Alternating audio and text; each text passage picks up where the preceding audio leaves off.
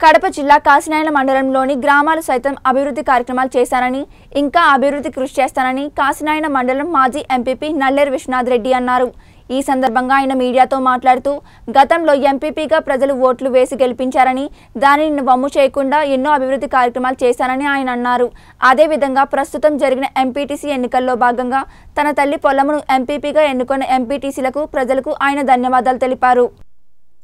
అదేవిధంగా గతంలో తెలుగుదేశం ప్రభుత్వం హయాంలో కాశీనాయన మండలం అభివృద్ధికి నోచుకోలేదని తన హయాంలోనే అభివృద్ధికి కృషి చేశానని ఆయన అన్నారు. తాను ఎంపీపీ పదవిలో ఉన్నప్పుడు మండలంలోని గ్రామాల్లో సైతం ప్రజలకు అందుబాటులో ఉండి ప్రజా సమస్యలను పరిష్కారం చేయడమే కాక ఎన్నో అభివృద్ధి కార్యక్రమాలు చేపట్టానని ఆయన పేర్కొన్నారు. అదేవిధంగా రాష్ట్ర ముఖ్యమంత్రి వైఎస్ జగన్మోహన్ రెడ్డి రాష్ట్ర అభివృద్ధికి కృషి చేస్తున్నారని అందులో భాగంగా కాశీనాయన మండలాన్ని అభివృద్ధిగా తీర్చిదిద్దుతారని ఆయన అన్నారు. చాలా తక్కువ అమౌంట్ చెప్పేవాళ్ళు. రెండు వందల యాభై రూపాయల నుంచి వెయ్యి రూపాయలకు ఉండేది. అదే జగన్నాథ్ ప్రభుత్వం వచ్చిన తర్వాత రెండు వేల నుంచి ఐదు రెండు వేల ఐదు వందల వరకు పింఛన్ పెంచడం కూడా జరిగింది.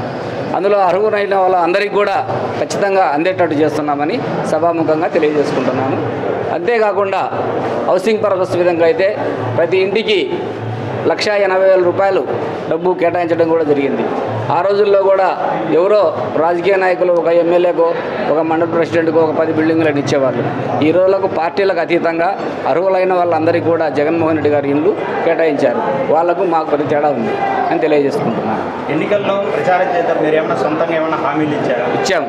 ఎన్నికలలో ప్రచారం చేసేటప్పుడు కాశీనాయన మండలానికి తెలుగు గంగ పైభాగమైనటువంటి గుంటూరుపల్లి గంగనపల్లి సాల్చెట్టుపల్లి వరికుంట్ల బాలాయపల్లి గ్రామాలకు త్రాగునీరు సౌకర్యము. తర్వాత ఇరిగేషన్ సౌకర్యం చాలా ఇబ్బందికరంగా ఉంది. మేము ఈయన అధికారంలోకి వస్తే వచ్చిన తక్షణమే అందరికీ లిఫ్ట్ ఇరిగేషన్ శాంక్షన్ చేసి మీ అందరికీ నీళ్ళు అందిస్తాము వలసలు ఆపుతామని హామీ ఇచ్చాము. దాంట్లో భాగంగానే మనం మన ముఖ్యమంత్రి గారు మన బద్వేలు వచ్చారు. బద్వేలు వచ్చినప్పుడు మొట్టమొదటిగా ముప్పై ఆరు కోట్లతో lift irrigation scheme scheme sanction చేయడం కూడా జరిగింది. దాని సార్ శాంక్షన్ చేసిన ముఖ్యమంత్రి గారు శాంక్షన్ చేసినారు కాబట్టి దానికి మేము ముందుండి త్వరితగతిన ఇన్వెస్టిగేషన్ చేసి తొందరలో టెండర్లు పిలిపించి సంవత్సరము సంవత్సరం లోపల పూర్తి చేస్తాం